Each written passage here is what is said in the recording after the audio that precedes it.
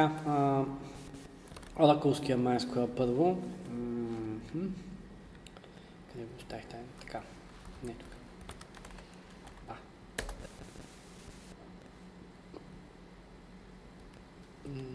Къде ще оставих оплата конзола?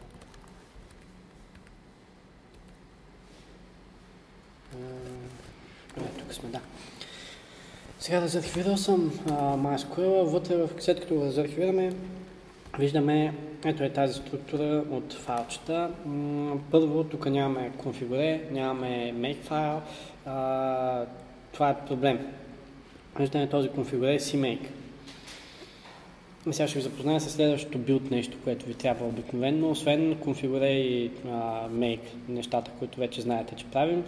А, имаме друг тул, който се казва CMake. А, неговата идея е да да възможност на програмистите по-лесно да пишат make файлове и конфигурационни чекове. Тоест, AutoConf това, което прави за вас на инет, проверява а, какви функции ви поддържа сито, какви библиотеки имате и така нататък. Тези чекове да се случват в а, по-лесен и по-добре структуриран начин. Това ви е CMake, който пак ви предюсва а, make файлове и ги изпълнява, но резултата, който ще видим след мъничко е доста по-различен и по-приятен за окото даже. Така, в една такава ситуация много удачно е да а, и да видите какво пише в install файла. Install, файла директно ви казва отивайте на source installation. Съответно, аз бих казал отивате на devmysql.com на doc ако не се сещате, и си а, отваряте референс меню за съответната версия на MySQL, която ще използвате. Ние сме дръпнали 8, дръпнахме 8, цъкаме си на 8. След това отивате на Install и Upgrade. И тук гледате внимателно какво се има предвид. Може да инсталирате generic binary на някакъв Linux. За Linux специално има а, какви за различните видове Linux, т.е. RPM базирани, Red Hat, Red Hat базирани, Debian базирани, SUSE базирани, Oracle Linux с Docker и така нататък. Дава ви доста информация. В случая ние сме решили, че ще го инсталираме това нещо от Source, съответно си цъкаме на Source. важните неща са, е тук е така, requirement за да може да го билднете. Казва ви, че ви трябва CMake. Сега ще видим дали моя CMake е достатъчно окей okay за а, съответния билд на MySQL. Вижте, казва се, че искам Make 375 или по-голям. Make 3 version 381. Make ни е достатъчно нов. След което казва, че иска GCC 5.3 за Linux или по-ново. Трябва ви Silank или Xcode или Developer Studio, в зависимост а, от а, операционната система, на която сте. А, MySQL е писан на C++, съответно ви трябва C++ библиотеки и съответно Boost нали, е нещо, което много често трябва. И тъй като Boost обикновено е по-стара версия от това, което ви трябва, единствената спецификация допълнителна, която са дали е а, как да а, му покажете, че Boost ви се намира в някаква друга директория. И а, допълнителни библиотеки, тук са записани ncurses, а, писано е, че ви трябва пърл, може би, може и без пърл да минете в повечето случаи. ncurses също не е задължителна, ще го видим след малко. А, и така, Съответно, тук, ако гледате това нещо, си мисля, че няма да можете да билднете а, MySQL. А да, тук имате Git, ако случайно смятате да го дърпате от Git и Bison ви трябва а, за анализа на кода. Това е за самия билд. Така. След като разгледахме тази документация, някой знае ли какво трябва да напиша тук? Така. CMake, да. Така, CMake обаче а, едно важно нещо, ще се върна нагоре, е тая точица е тук и така, дет не се вижда много. така, а, хоп. Ерър са като what the... И, добре, SCL enable dev to set се. А, да, баш. Семейка. Е.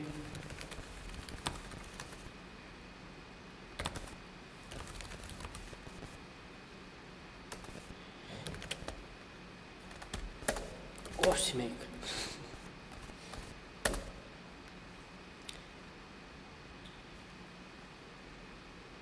Къде го записаме? Натистих кеш файл. А...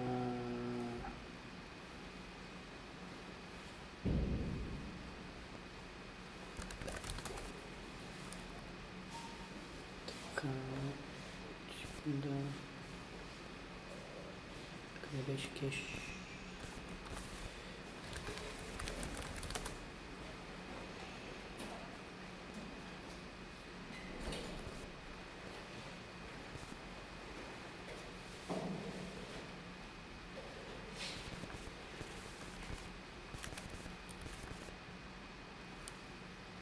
Къде ги намери сега тези неща? Cached values. И че не ползвам често. Добре. Не, аз сега е да затрия нещо.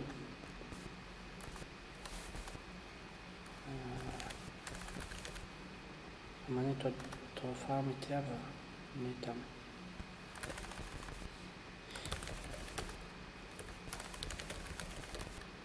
За да не си играя да го търся сега, ще го задхвирам още веднъж, сори. Да, може би един фиксер ще да лоши.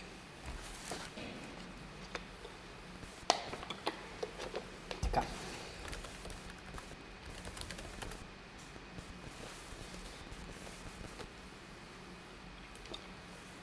А така, could not find boost. Окей, едно 67. А, нека малко.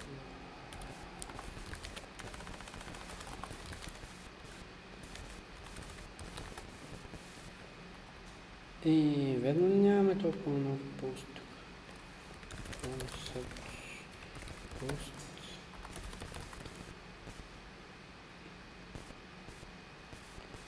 Едно 4, 8.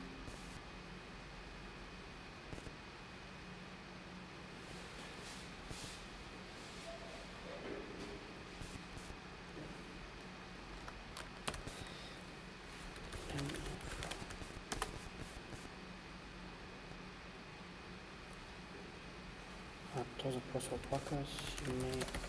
Коя версия не трябваше... А!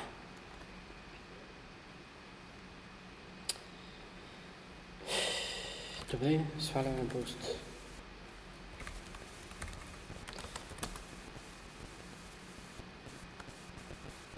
И го инсталираме на бързичко. М, Къде си ме дал? Така.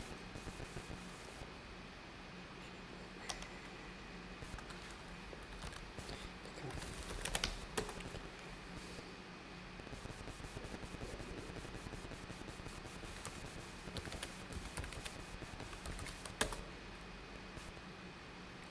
Айде ти.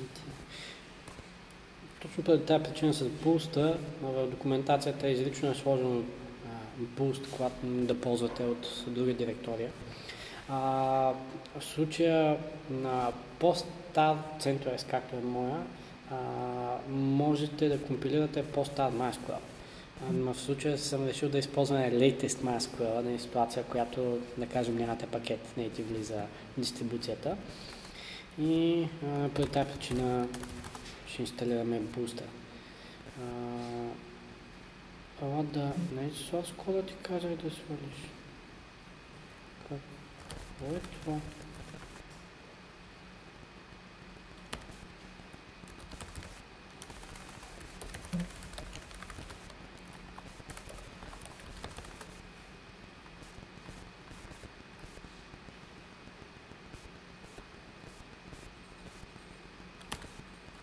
Ще глупости.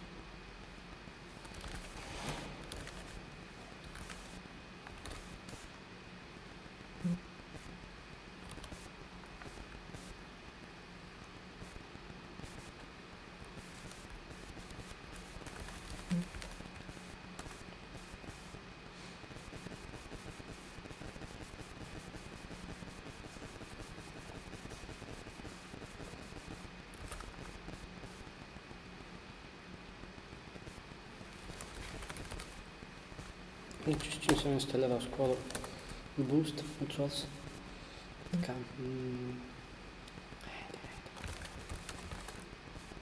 И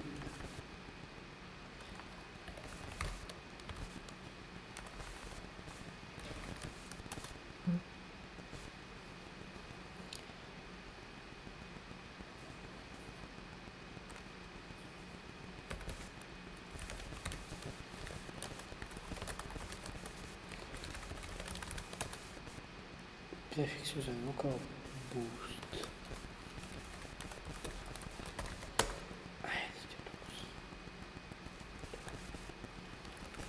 Сега, bootstrap не съм.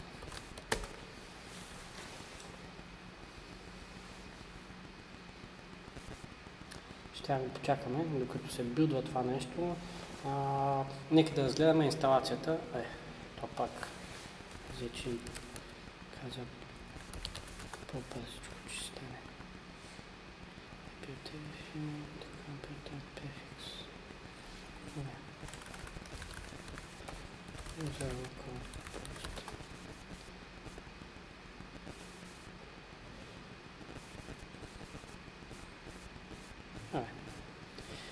Като се билдва, да разгледаме няколко неща. MySQL, след като се инсталира, е... не тук обаче, се бъркам, ще се затворя малко табове. MySQL след като се инсталира ви дава няколко тула и първото нещо, което искате да направите е да инициализирате директорията, която ви е, в която ще ви стои дейтата на MySQL. Тоест, когато се инсталира MySQL, вие сте инсталирали бинарките, но не сте инсталирали базата данни. И сервиса може да тръгне, обаче само ако има база данни, не файлове, които да се визират. Не така. А, поради тази причина а, имате скриптче, което се казва MySQL install.db, което ако му подадете някаква директорика, нека да му създадем мукадир MyDB директориката, MySQL install.db и на това му давате datadir, ето тази опцика, тире datadir, MySQL install.db, MyDB, и сега като отидем в MyDB, тук имаме само MySQL базата. В MySQL базата Защо? А, то е изградено с грешка, аз не погледнах. No such file directory user admin. Оф, много съм тъп.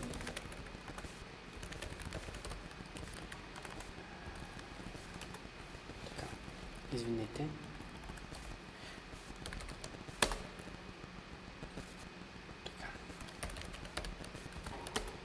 Така, вече имаме а, следната информация.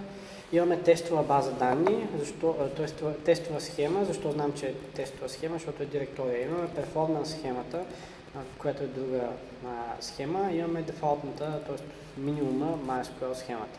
Performance схемата е нещо, което вие може да enablenете, но by default просто се създава, като в нея се събира информация за статистическа информация за query които са направени, апдейти, които са направени, а, не, статистика просто за всяка една таблица, което е много удобно а, и го нямаше много дълго време в а, стандартния MySQL.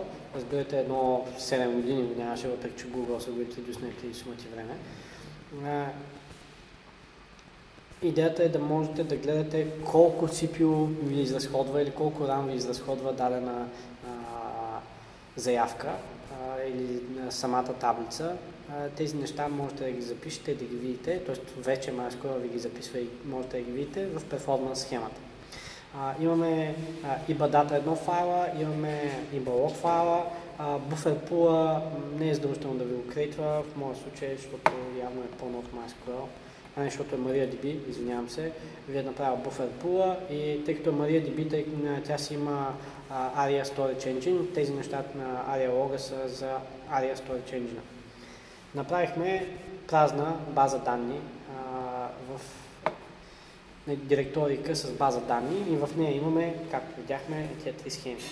Така, от тук нататък това, което може да направите е да си пуснете а, MySQL сервера сега тези неща ви ги показвам, а, за да разберете на ръка по принцип какво се прави. А, не, що не се пействаш? Нека да го пуснем този сървър. А, така,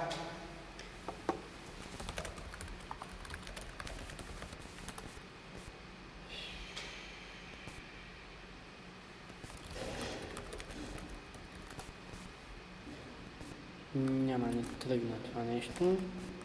Дайте да видим защо. Тук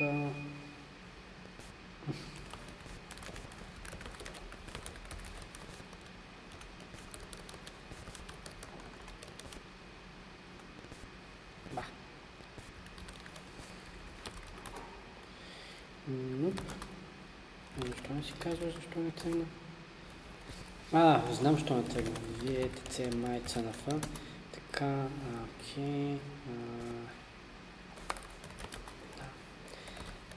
Да, и тук е така сервер конфа, и тук е така data дефиниране. А, им няма дефиниране.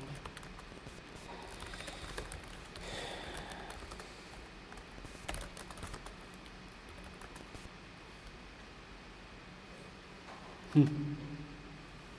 Добре.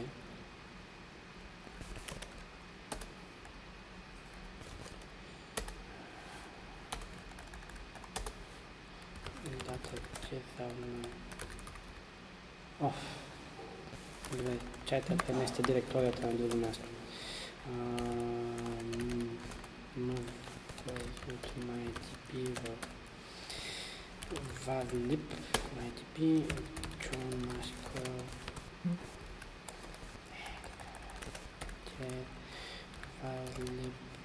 varlib MyDB така, това, което направих е преместих директорията в varlib и тя се казва MyDB и смених owner и на всичките директории вътре в нея, а, директории файлове, смених owner да ми е, ох, не MySQL да ми е MySQL, защото стандартно рънва с този юзер. В сервер conf ще му сложа data равна varlib mydb и след това uh, save. Само че varlib mydb. Така, сега. Това нещо запали този път. Слагаме на background и отиваме в varlib mydb. Хоп. Сега имаме тъца лог. Не този.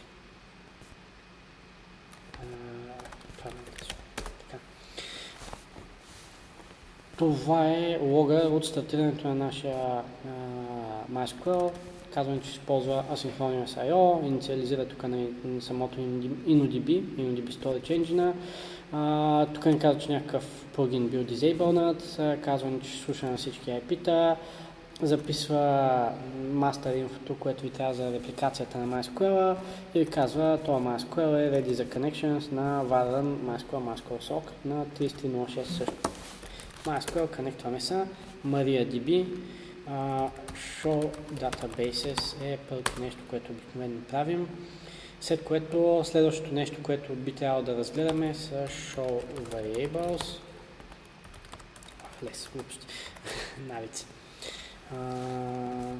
Така. Това тук ни показва текущата конфигурация на MySQL. Сега забележете, ето тази част е тук е така.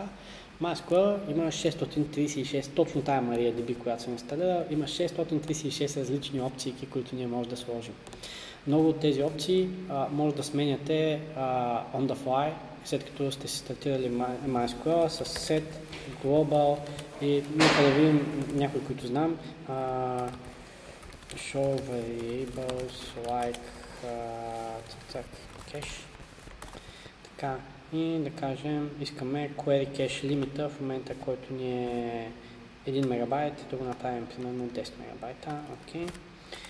Set global query cache limit равно на това нещо нуличка. Така. И хоп, сменихме тази стойност да има вече една нуличка отзаде. Така, не всички неща могат да се сменят, като например log. Ето е тук е така, къде беше general log или log, къде беше само. log. Да, general log. Така, него може да го включваме и да го изключваме. Я да видим set global на special log. А, бе, преди не можеш. Някои от логовете не, може, не можеха да се включват on the fly. Може би turn on, ама значение на лога не може. Нека да видим. Така, равно. Ба. Поправили са някакви неща. Къде си бе? General log. Включен и се казва Pesholog. Имаме Pesholog, в който, забележете, има всяко едно query, което аз съм изпълнил. Така, само да видим билда докъде стигна, защото аз искам да се случат някакви неща. Е, не ми казваме, че с пряк connection не съм доволен. Това интернет днес е пълен бълшит. Не, на моето самото просто ма дропи за Activity. Защото не съм пращал пакети. Добре.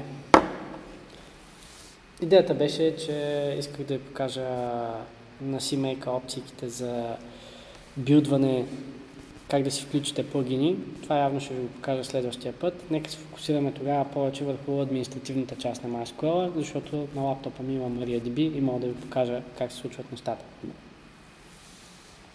Така, значи, конектваме се към MySQL. Казах ви, Show Databases е в общи първото нещо, което правите, за да видите какви бази има. обикновено като се логните. Освен ако не знаете какво точно ще правите, Show Database поне ви трябва да листните и да разберете, да се ориентирате малко. Show Variables ви дава текущата конфигурация на MySQL. etc my.cnf е файлчето, в което стои стандартната конфигурация на MySQL. MySQL, реално видяхте, че аз ръннах едно скриптче, което се казва MySQL Dolna Safe.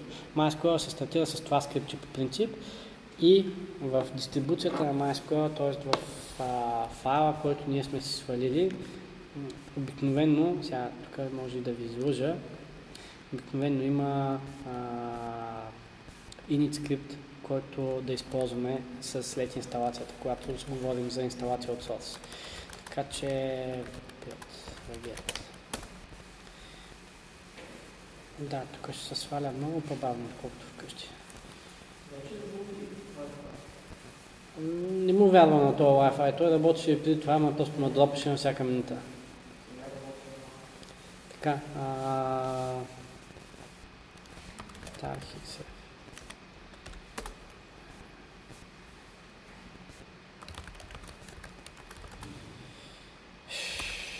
Къде си?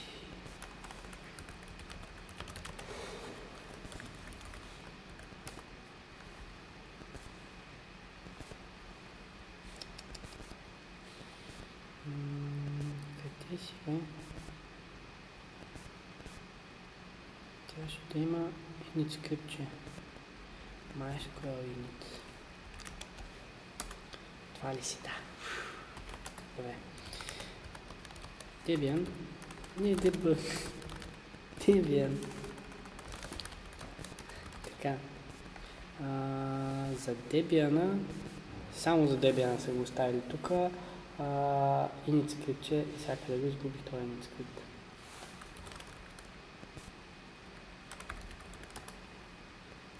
Така ето го init скрипта.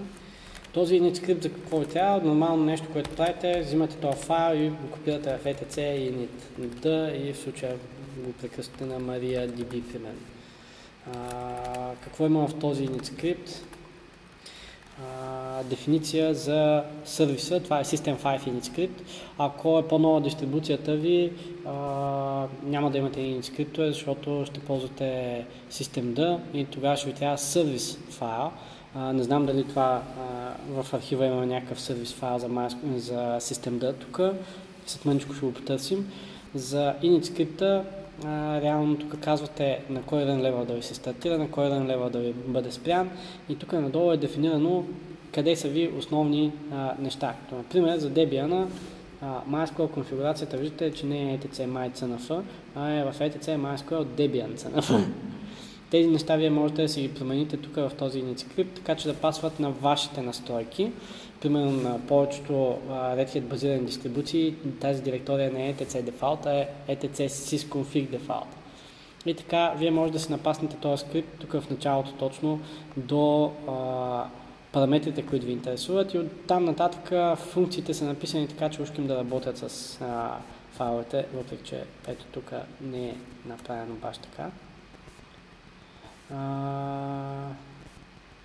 Да, този скрипт се използва, за да можете да направите нали,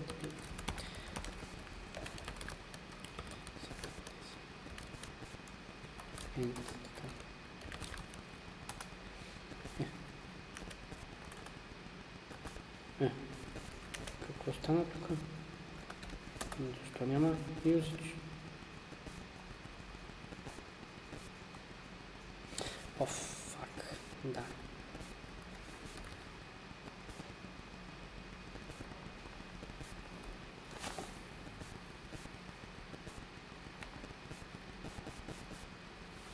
Andiamo сега да тръгне работа. А. Къде... Ето и тук е така. Няма,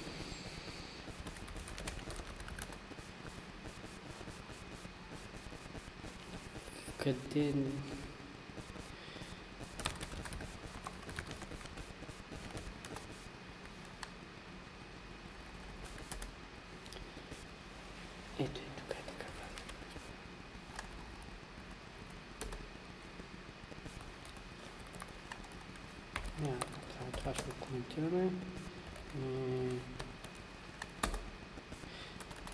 Това е нещо, което ви дава този скрипт, като го изпълните без никакви параметри. Той ви връща резултат, възможните опции. Start, Stop, Restart, Reload, False Reload и статус. Сега няма да го изпълнявам този статус, защото този скрипт не е настроен за MySQL MariaDB, която съм пуснал тук, но идеята е, че вие трябва да си го изкопирате и да го пуснете. Това визирайте дистрибуции като Devuan, като Gentoo, които ако сте си пуснали Gentoo без Systemd, за по-новите с Systemd, наистина ми е любопитно да видя дали има сервис файл тук.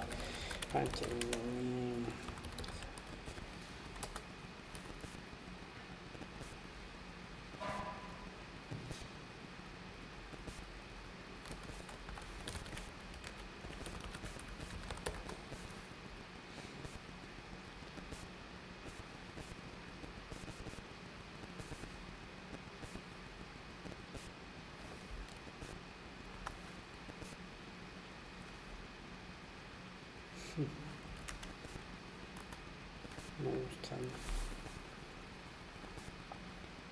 И това. И не го виждам. В документацията обаче го видях това нещо при, инстала... инсталацията на Linux. Е, тук е така. Пише специално за системата.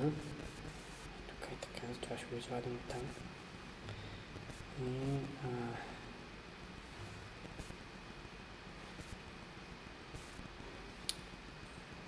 Хубаво е.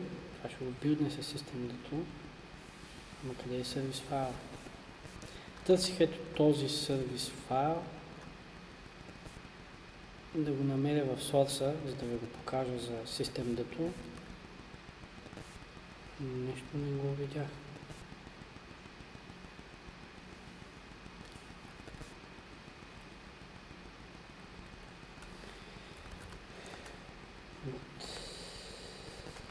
Так, няма.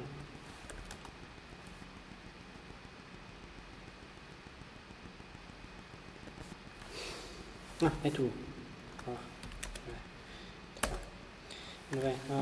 Ето така изглежда System Service файла. Дефинирате си а, малко description, а, документацийка малко, какво ви трябва да е стартирано преди да а, се стартира MySQL, а, кои са, а, кой ви е сервиса реално, MySQL Multi, таргета, алиаси, т.е. ако напишете MySQL или MySQL да знае, че става въпрос за същото нещо. И вече имаме а, дефиниция на самия сервис, че той рънва с MySQL юзера, с MySQL групата, а, какви capability му трябват, а, така нататък. Не съм запознат с абсолютно всички неща на системдато. Е тук малко по-надолу обаче имаме ето е тези неща. Сега, тук навсякъде, където виждате add sbindir, нещо си, uh, add system да exec start, start post, този файл, който аз съм отворил в момента е .in. Тоест, този файл е файла, от който ще се генерира истинския файл, когато се билдне MariaDB-то.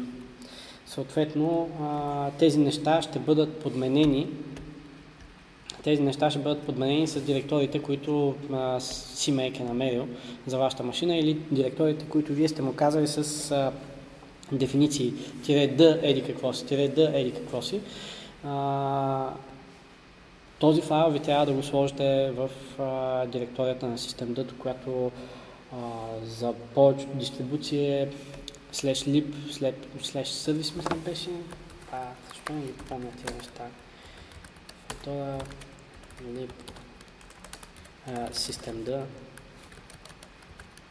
така.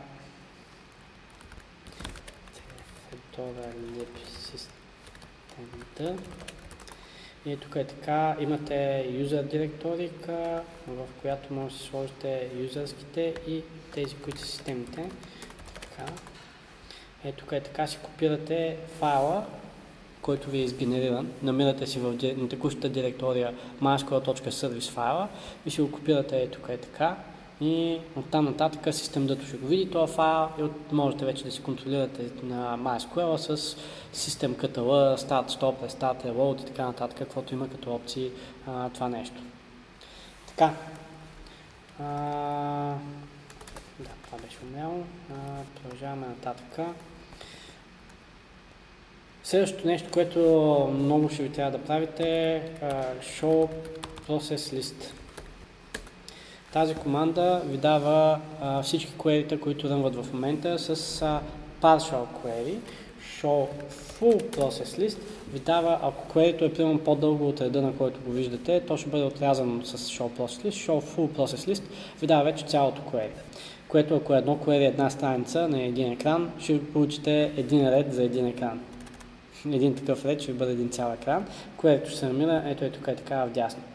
Важното нещо е, че вие реално виждате кой е юзера, който изпълнява query откъде се е конектнал, към коя база е конектнат в момента, т.е. грешка, коя схема е конектнат в момента, какво изпълнява тази команда, какво прави, от колко време я изпълнява тази команда. Един пример е select sleep 10, нека не е 10, нека е 100 така и от друга конзола MySQL, така show process list, така, това, което виждаме, user sleep от 9 секунди и много често нещо, т.е. ето ни го user sleep, query ни е, е тук е така, не, state му е, на тази колона е state му user sleep, а инфото е ето това нещо е тук, което е query ви и виждате Shuffle Process List, в неговия за слипа виждаме Select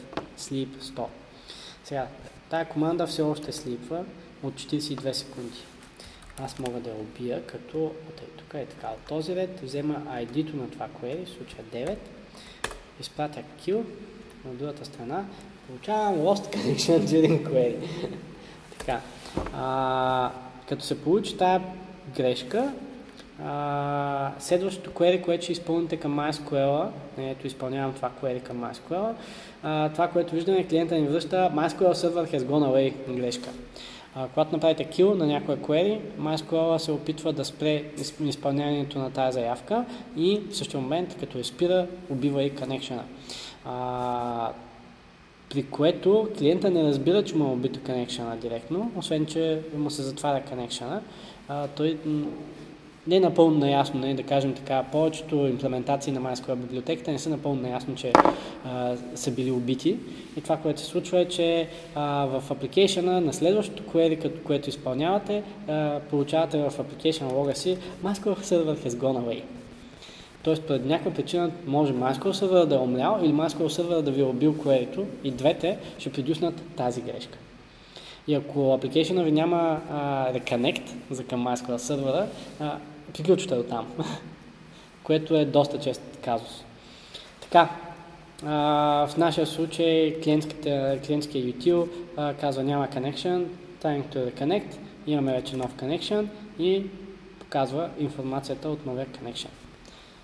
Някакви въпроси тук.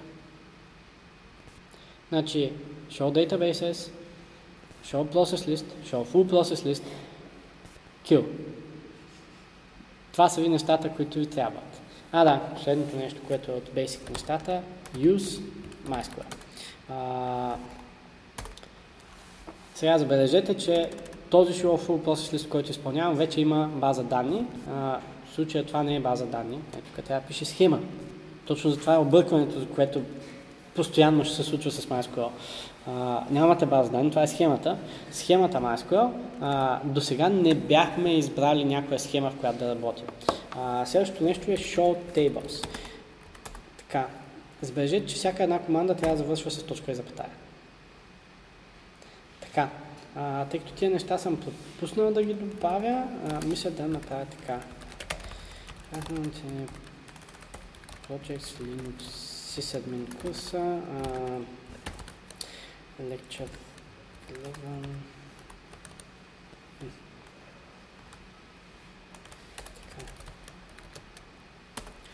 Тук имаме малко командички, които искам да добавим. А, те са ли бяха? Така.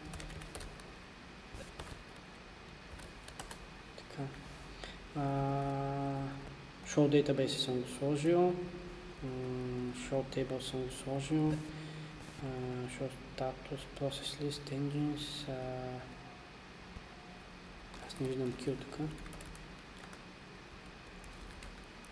Така. Тук да добавя само MySQL kill ID. Просто сети, че не съм го сложил това нещо. Така, а, следващото нещо, което искам да видим е Show Tables. Show Tables не листва само таблицата по този начин, обаче не листва структурата на дадена таблица. най-простият начин, който аз знам за а, листване на структурата на дадена таблица е да, да, да дадете explain на дадена таблица. По принцип имате show table statement, който е хубаво да знаете по принцип. Show table users user. Така. А,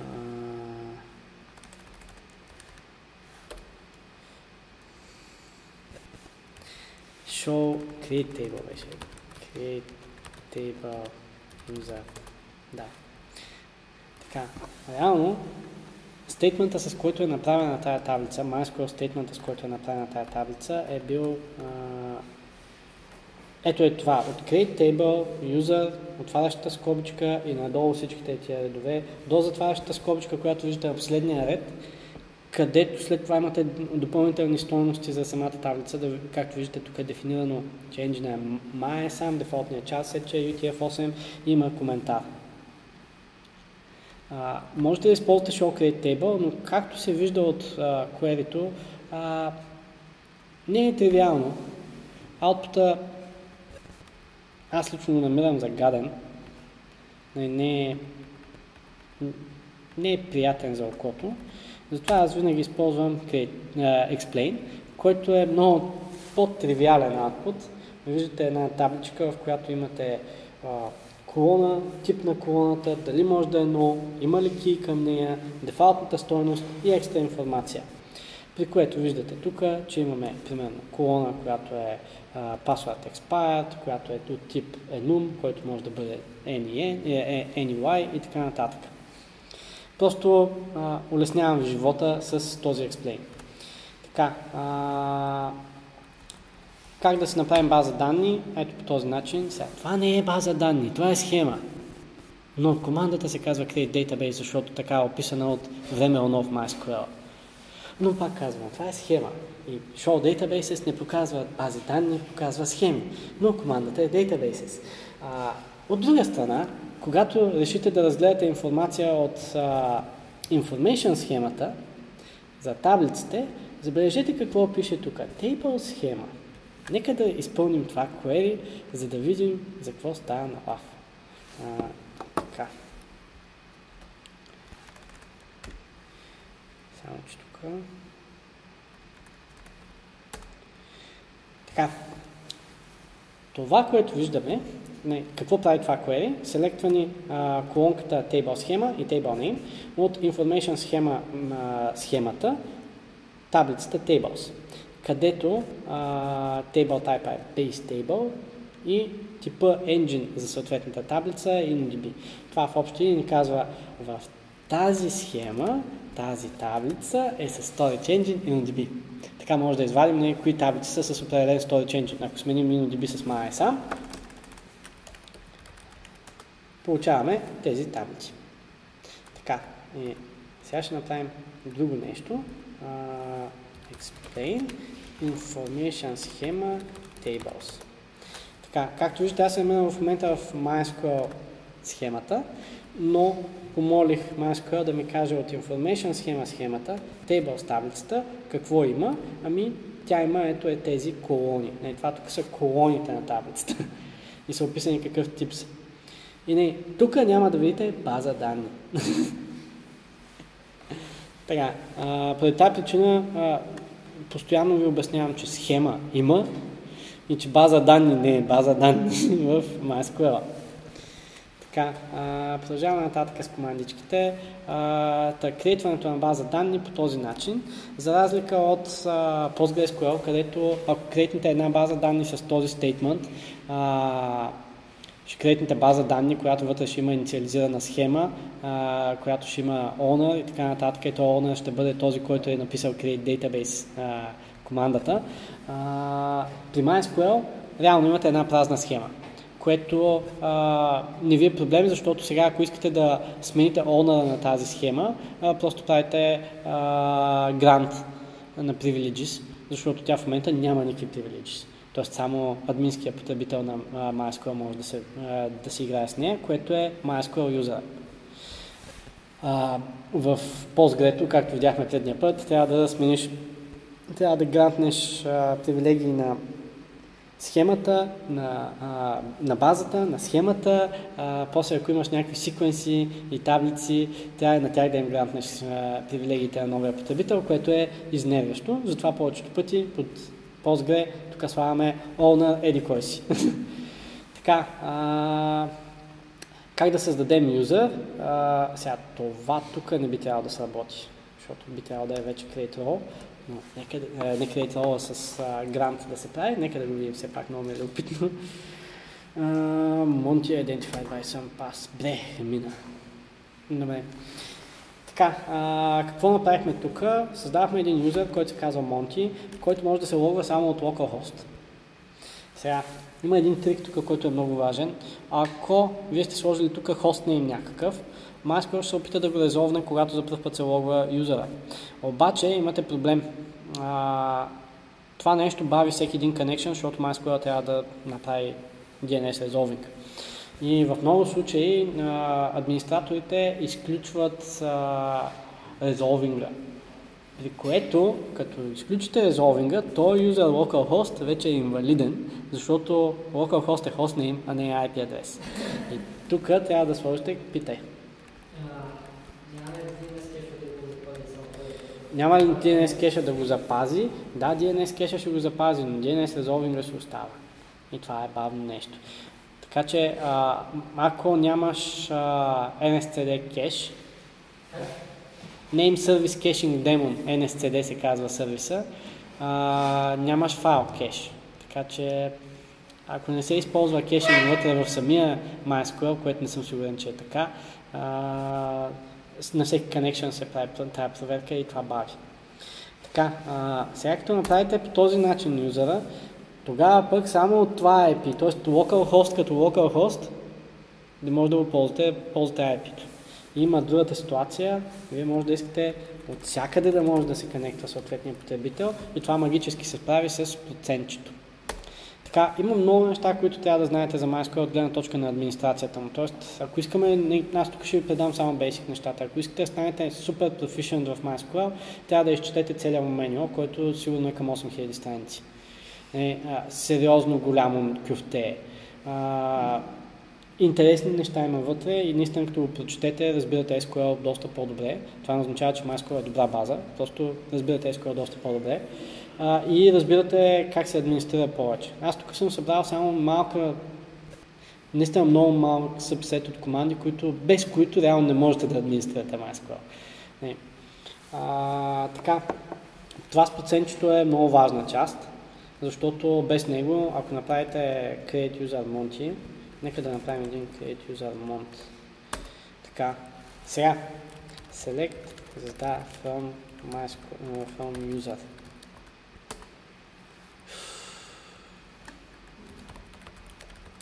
Таблицата user има много неща в нея. По тази причина, ние това, което ще направим е да изберем host, user и password. Само колонките от тази таблица. Така. Select first user password from uh, users. Така. Това тук, което виждате е хешнатата парола. Първо, това е много важно. Второто, което искам да забележите е, че ние сме направили монт с процент и монт без процент. И ако направя селекта сега малко по-добре, разменя това user и host, за да става същото като командата, се забелязва, че тази команда, въпреки че тя няма хост, автоматично е добавила процент. Защо го казвам това нещо? Защото ако искате наистина да лимитирате даден потребител по IP и случайно пропуснете IP-то, изведнъж автоматично MySQL не ви казва, че има грешка с query ви, а просто се опитва да ви изпълни query до а, максимума, който той може, при което той казва, ага, значи най-вероятно имате предвид, че трябва да го лауна от всички епита. И затова е важно да го имате предвид, ако сте натиснали Enter, че трябва да си апдейтнете след това а, тая информация. Сега, MySQL, аз този user Monty го направих с, user, с парола SumpAss. Не, така, ето е тази парола. Така, това, което се случва сега е, че примерно MySQL-u Monty, MySQL, ми казва а, Access Denied.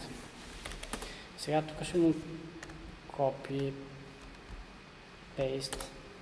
И все още ми казва Access Denied.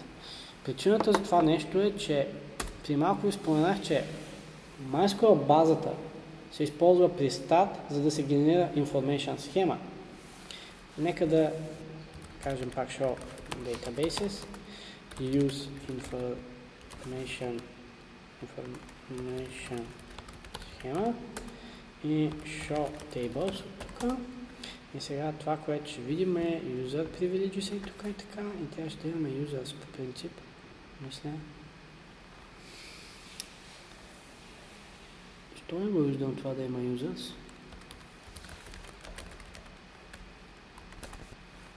Така. А, сега, това, което се вижда е, че имаме с процент, имаме монт.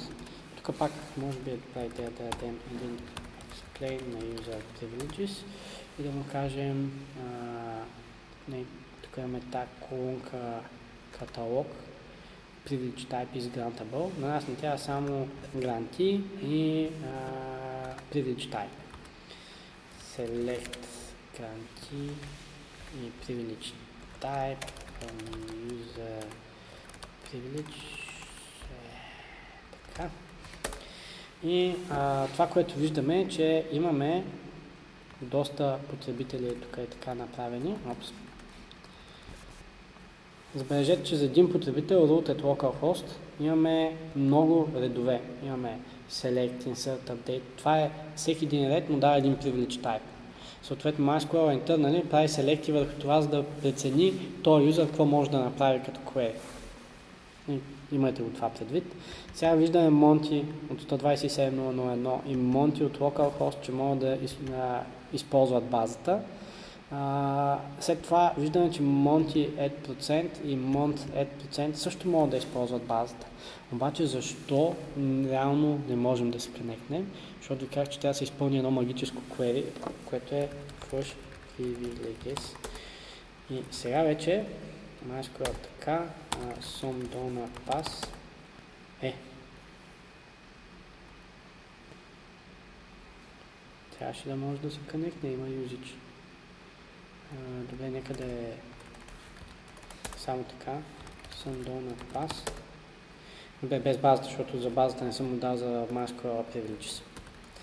Така, сега MySQL, следващото нещо, не, показах ви Flush Privileges, нека да му грантнем някакви привилегии на този юзер към някаква база, но първо да създадем тая база и това ще ни бъде на пешо базичката.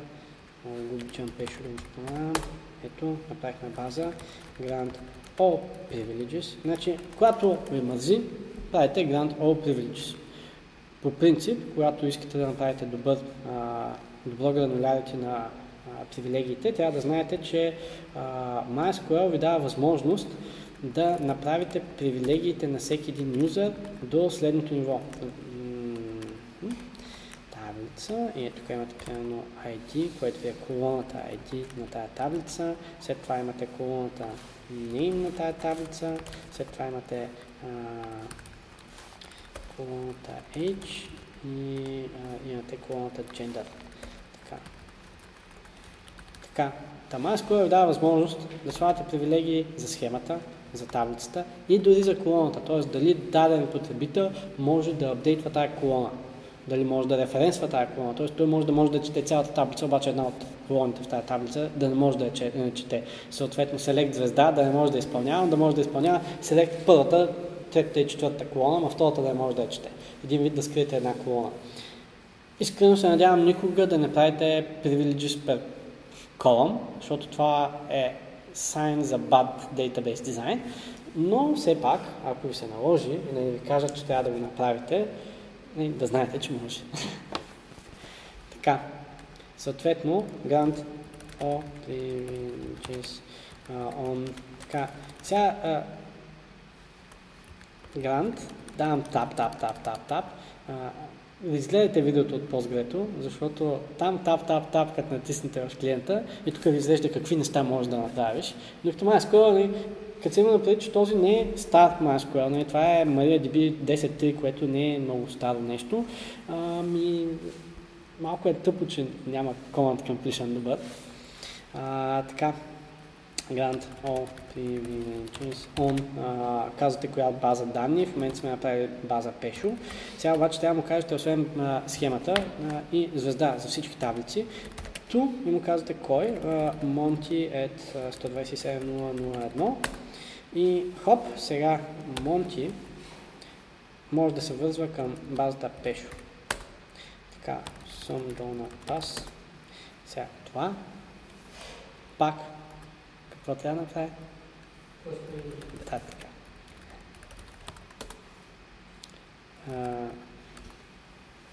Хош, privileges. Да, privileges го бъркам често. Така. Сега съм до на пас. Е, сега трябва да се... Не има Монти е толкова... А, грешния юзер.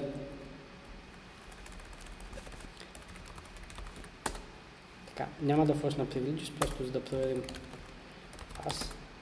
Е, нещо са пипали в Марията, усещам аз. Тук по принцип винаги след това трябва да дадеш first privileges, ама пипнали съм тук там е нещо. Така вече сме в базата Peshu, Show Tables, няма никой, можем да направим uh, create table names, която има ID int и uh, name uh, var 20. Така, хоп, show tables. Ето, uh, А, да, Names. Мислех всичко на давам explain на тази таблица и викам, бе, нямаме го ID, name, нали? какво направих, подявалите, извинете. така, Та да, показваме се таблицата names и тя си има а, колонка ID, колонка name, а, insert into а, names и тук ще му сложим а, name, values, ще да Така. Точка за запитая, да. Select the from names. Така, забележете, че тъй като не му дадох информация за ID колоната, там пише 0, имаме пешо вътре. Така, преминаваме нататък, значи grant, all privileges, тук това съм го описал в а, файла on db name, разбирате схема name, а, some table и съответния юзер. Можете да дадете само юзера, а, това автоматично го слага с процентчето, ако има такъв. А, сега, аз много обичам е това нещо. Защо? Защото ви дава възможност да видите грантовете за даден потребител, примерно Mont. А, а да, това не е MySQL юзера. Трябва да си администратор, иначе може да видиш само собствените си привилегии. Така, я да видим сега Monty, обаче, а, само че Monty е localhost. Вече виждаме, че Monty е създаден по този начин и че има тези привилегии. Защо Show Grants е много готино? Защото когато трябва да копирате даден потребител, който не знаете как са го направили, т.е не знаете докъде са му дали привилегии, можете да видите текущите му привилегии и просто да го изкопирате, буквално да изкопирате тия query е тук и така и да ги изпълните на другия MySQL сервер, примерно в офиса на dev средата. И а, това ще пренесе юзера с същата парола, с същия хост, с а, абсолютно същите привилегии до всички бази, до всички схеми и таблици, така както са направени примерно в live средата, което е супер яко и супер удобно а, да го видите това нещо. А, така, create table, uh, show create table ви дава възможност да листнете таблицата, но е, тук е така ще сложа също и uh, MySQL explain table name, което е еквивалент.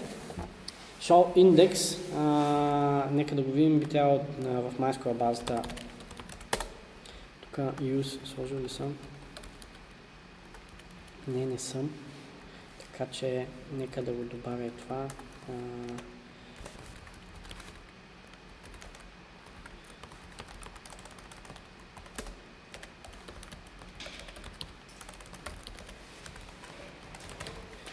Така. Окей. Просто неща са важни. А, сега, show index. Кое иска да покажа? Не user. А,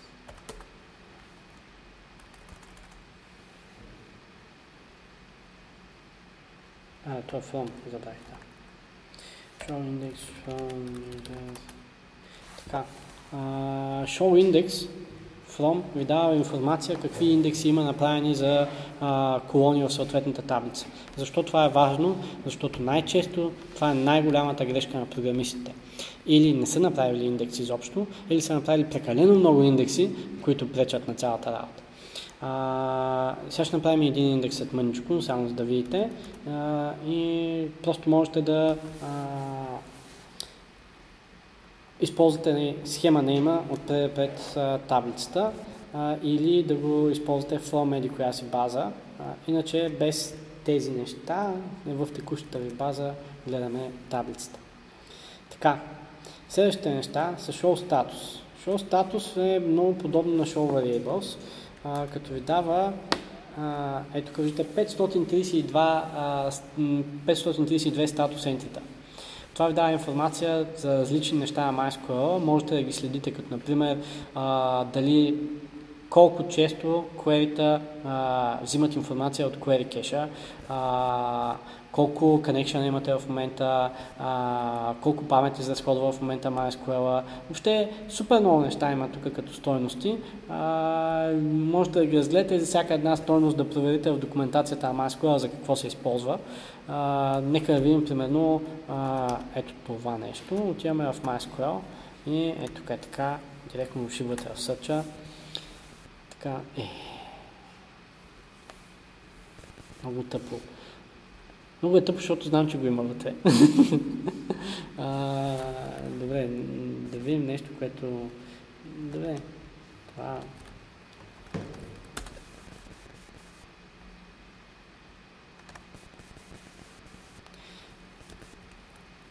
Ето ви, IMDb Page Size, цъкате си на него, и тук има описание за съответната стойност. Така, а, това ви е статуса.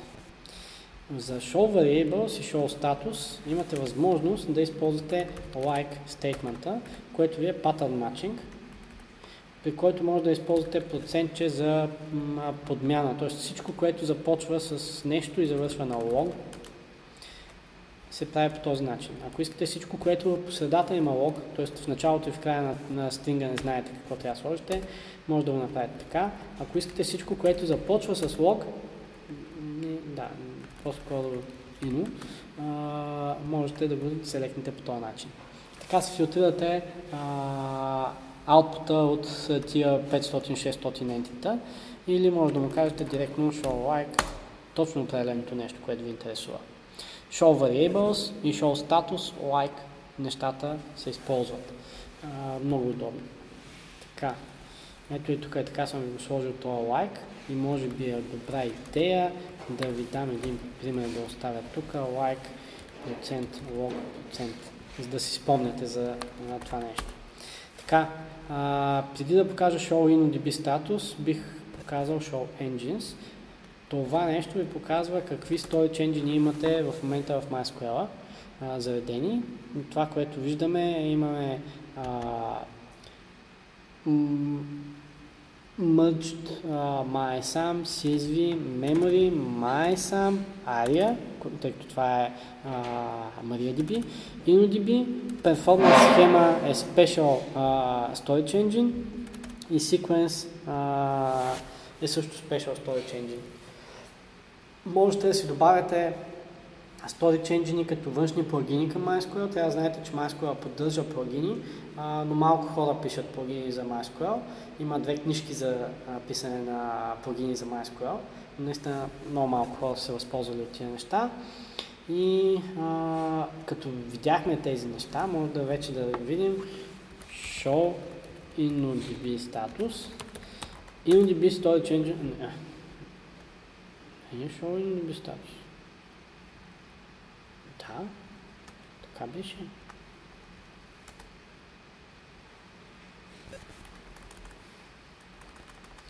Engine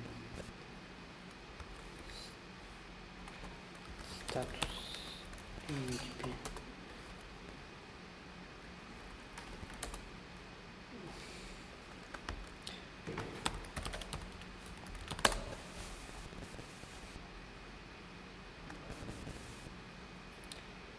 Тай, тай, тай, да. Show engines, сега кажем show engines. Show engine.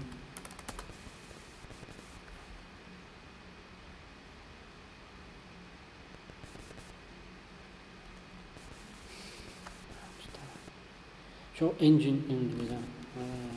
Сменило се, да го апдейтна на документацията. Show engine.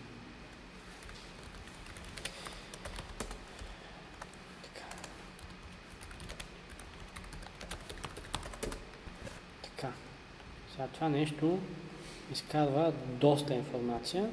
А, това, което вие искате да разгледате тук са а, първо, имаме ли някакви семафори, които в момента а, са заети. Семафорите това са ви някакви локове между тредовете. Тук може да гледате колко е натоварването на машината ви, а, лок контеншена между тредовете, които имате а, колко транзакции са минали, тук можете да видите, да следите статуса на самия енджин, колко транзакции обработва във всеки един момент от времето, колко IO треда има. Това са и само тредове, които пишат, обработват данните, нали, пишат, четат и пишат от а, диска, като и тук е така ви показва какво се случва. Нали, имаме 4 ридера и 4 райтера. А, дава ви информация за reads per second, average bytes uh, per read, uh, writes per second, uh, брой f-синкове. трябва да имате преди, че MySQL, въобще не само MySQL, всичките бази данни, които са ACID compliant, те трябва да правят uh, F-Sync към файловата система за файла, който пипат в момента. F-Sync е uh, функция, която казва на кърнела, uh, дъмпни всичко, което имаш в паметта за този файл и запиши на хард диска. Тоест да гарантирате, че тези данни са на хард диска, вече са в persistent storage. Съответно, F-синкове се случват често, но това не са file system wide в F-синкове, а са per file, когато апдейтате информацията вътре в файловата система. Така, надолу имате също доста а, информация, която ви дава повече информация какво може да се случи с, а, с InnoDB-тови и вие можете да си селектвате това и да си гледате статуса на InnoDB и да си правите графики и да преценявате нали, дали ви е прекалено натварена машината, дали ви трябва нов хардвер, дали искате да оптимизирате някакви query и така нататък. А, в общини тук имате много малко статистика, ако сравняваме с PostgreSQL но поне имате някаква статистика, не е като съвсем да няма. Повечето хора просто, а, когато се натовари MySQL, гледат само Show Process List или Show Full Process List и не взимат а, предвид текущия стейт на MySQL, предвид query които се изпълняват, колко е натварен на машината от към I.O., колко е натварен на машината от към а, CPU. Не е добра идея да пускате повече тредове на MySQL, отколкото колове имате на машината. Обяснявам, ще го повторя това, за да разберете ясно.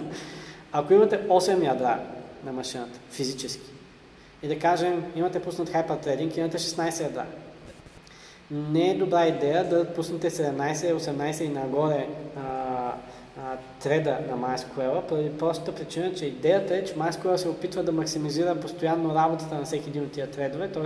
всеки един от тия тредове се стреми да използва едно ядро на 100%. Ако използвате hyperthreading, трябва да имате преди, че един hyperthread има горе-долу около 40% от перформанса на един real core. Което означава, че не, ако сложите, а, ако имате 8 физически ядра, с hyperthreadове не трябва да слагате 16 треда на MySQL, а трябва да му сложите максимум, примерно а, 11-12 треда. Защото тия 40% са проблемни. Ако се случи нещо да, да използва повече hyperthread, отколкото реалния thread, имате проблем с това, че не знаете, ще се забави execution в тази насока. Съответно пък като направите повече IO тредове, не само reader и writer тредове, отколкото процесори имате, в един момент от времето, когато е заед процесора, защото обработва едното IO, другия IO тред няма да може да работи, защото първия така иначе ще го блоква, ще тейковърва цялото CPU. Поради тази причина трябва винаги максимума тредове, които пускате на MySQL, да бъде броя на ядрата, които имате. С hyperthreadовете, това е максимум базирано на вашия workload, трябва да проверите дали не трябва да ги намалите малко, когато ползвате hyperthreading. Тия статистики тук ви показват точно такава информация, като ще видите, примерно, че ви се бавят а, повече а, райтовете и ридовете, когато имате повече а, тредове, отколкото когато имате по-малко тредове, което е малко counter-intuitive първоначално, докато не се усетите за тази ситуация с процесора и тредовете. Така, а, това беше ONDB статус, Show Process List, Full Process List го показах, сетване на промени ви го показах. Последното нещо, което искам да разгледаме е малко конфигурация и а, сега направихме user Monty, който се логва, а, който, с който трябваше да се логваме в базата Pesho, не така. Обаче съм пас. Тя пише всеки път паролата. Аз не обичам да пиша пароли, съответно секунда.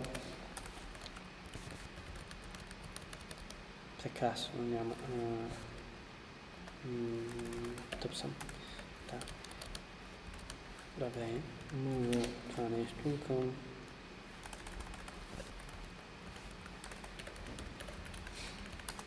Така, искаме да създадем ето това файлче. В това файлче искаме да си сложим MySQL конфигурационните файлове са с uh, Windows INI style формат. Тоест имате section, в нашия случай това е секцията MySQL за клиента. След това имате някаква, някаква стойност, променлива, и нейната стойност по-скоро, тук ще бъде а, пешо. А, password, мисля, че тя ще е цялото. Смениха го от password на пас или от пас на password. Не го помня, затова сега ще тестваме да видим кое беше. А, съм пас. Така, сега MySQL. Uh, using password, localhost, yes. Uh,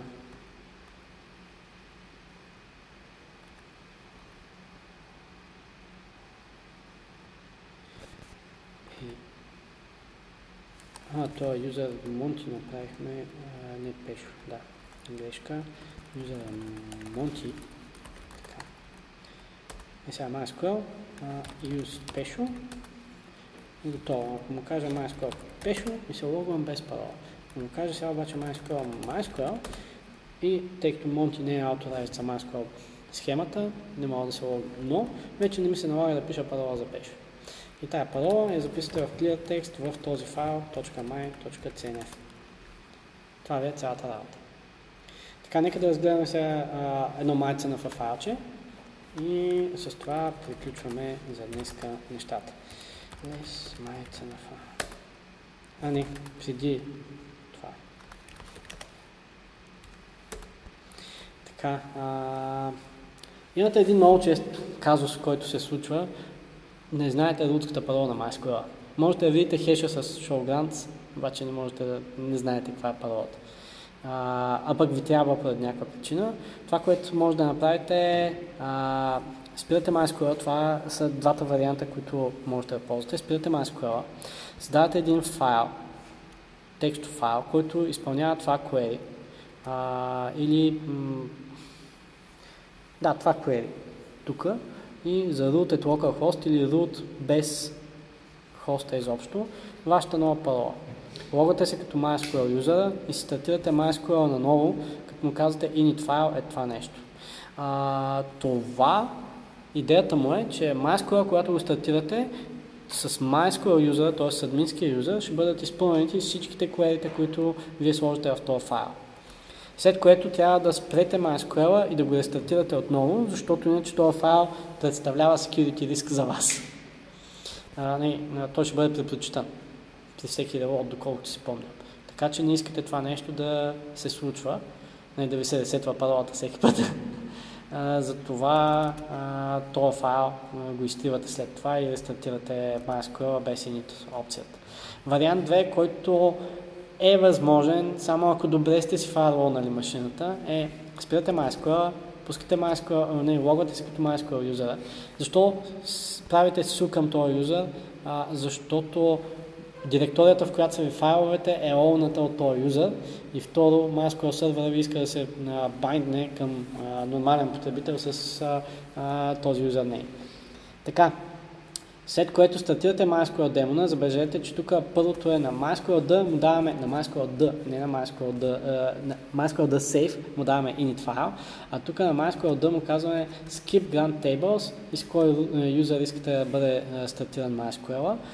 Това skip grant tables означава, че всеки юзер, без значение юзернейм парола, може да се логне и може да чете, пише, променя а, всяка една база и таблица, която имате в MySQL, при което не след това се логвате с а, юзера, апдейтвате си паролата, фършвате privileges, рестартирате сервера без а, skip grant tables. Ясно? Тая процедура се налага да я правите. Не е много честа, но наистина се налага да го правите.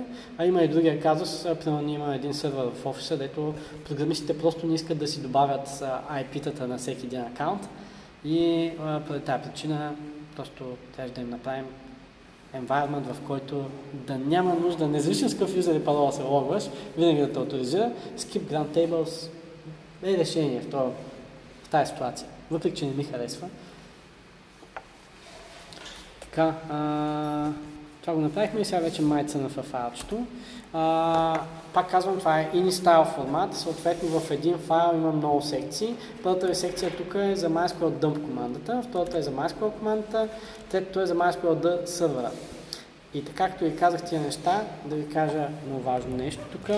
MySQL има доста команди и а, освен MySQL клиента, трябва да знаете за MySQL dump командата, която ви пока, се използва за да а, дъмпнете контента на дадена база. MySQL dump, примерно а, MySQL и му казвате едно файлче dump SQL. Да. Така. MySQL dump, u MySQL, обаче.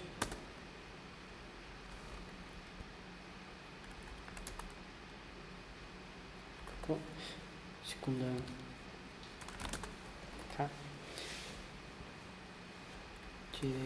u MySQL, базата данни. Правилно съм написал TireU.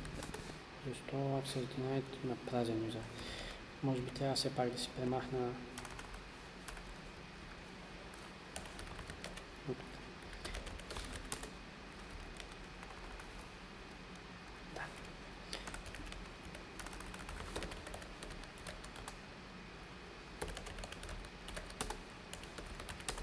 Добре. Сега вече MySQL dump, MySQL dump името на базата данни. И това нещо ви създава един текстов файл, който е с този контент, с което може да дъмпнете всичко, което има в съответната база. Database by database, имате малко опции тук на дъмпа, като искате да се добавят неща като дропване на базата данни, дропване на таблицата преди а, в SQL файла, който ви се създава, с цел когато ресторвате, първото нещо, което ще се случи, ще бъде първо ще дропнем текущата таблица или текущата база и след това ще ги създадем наново. И а, другото интересно нещо е, че а, ах, не го виждам къде е това нещо. Имате разлика, можете да си дъмпнете, да, ето така, с а, no data с тире D, можете да дъмпнете само структурата на базата, т.е. създаването на таблиците, създаването на индексите, ако имате някакви а, функции или вюта, само, техни, само това създаване, без дейтата. Примерно, ако базата ви е огромна, да кажем 50, 100, 200 гигабайта, нали, за повечето хора са много голямо нещо, а, и не искате да дъмпите дейтата, можете да си дъмпнете структурата, да си разтонете структурата и после да си дъмпнете само това, което ви трябва от съответните таблици, което примерно могат да бъдат 10-20 мегабайта от цялата база. Така, това е MySQL Dump. А, само важно е, че за да, ако искате да дъмпите и функции, трябва излично да му кажете, че искате и а, функциите. Мисля, че беше главно R.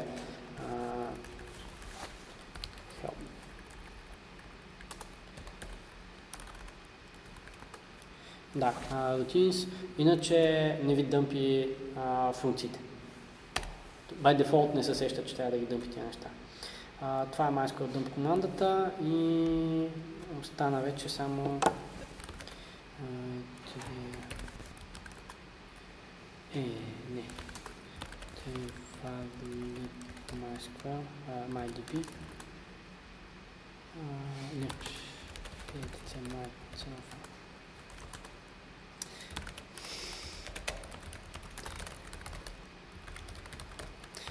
Additional lecture. Така, MyDB. Така, за MySQL демона има а, няколко неща, които са важни. Ако правите репликация, задължително трябва да сложите сервер ID. А, DataDira и сокета са двете най-важни неща, които аз съм срещал от нея, които ни трябват. Това е за стат, мисля, че го няма вече в MySQL, съжалявам, това е доста стар MyCNF файл. А, и от тук нататък имате доста настройки, които са свързани с memory usage на MySQL и пътищата на MySQL. И за memory usage искам да ви кажа само две приказки. Всеки един connection има собствени буфери. Съответно, когато настройвате а, key буфери, а, внимавайте буфера дали е per connection или е global. Това го пише в документацията. А, защото ако направите един лимит, който е per connection от 500 кБ на 2 МБ, но имате 2000 connection, и вече имате 2000 по 2 мегабайта от 2000 по 0,5 мегабайта.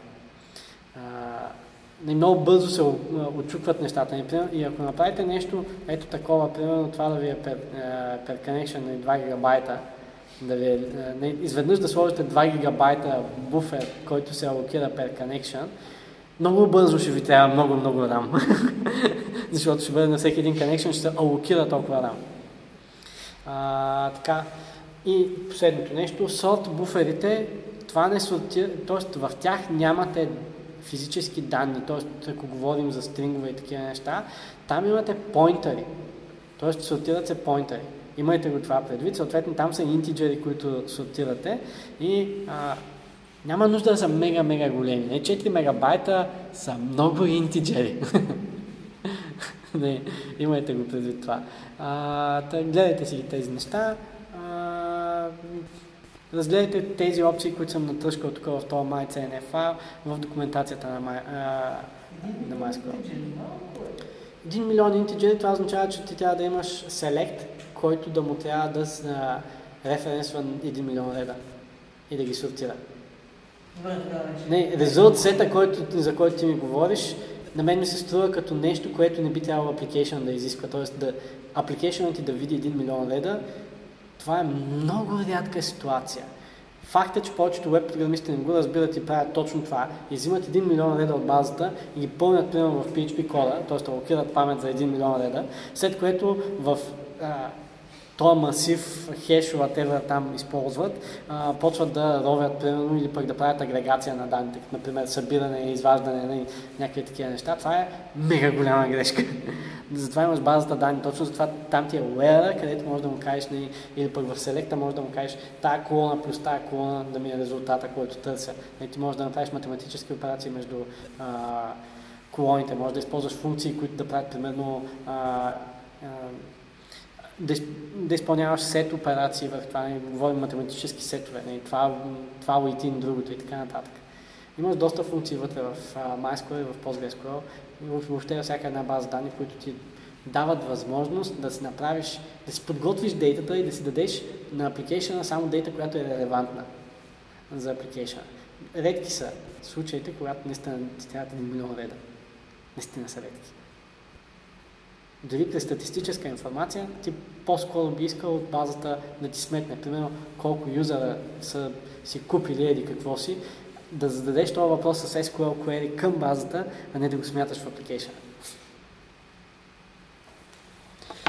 Добре,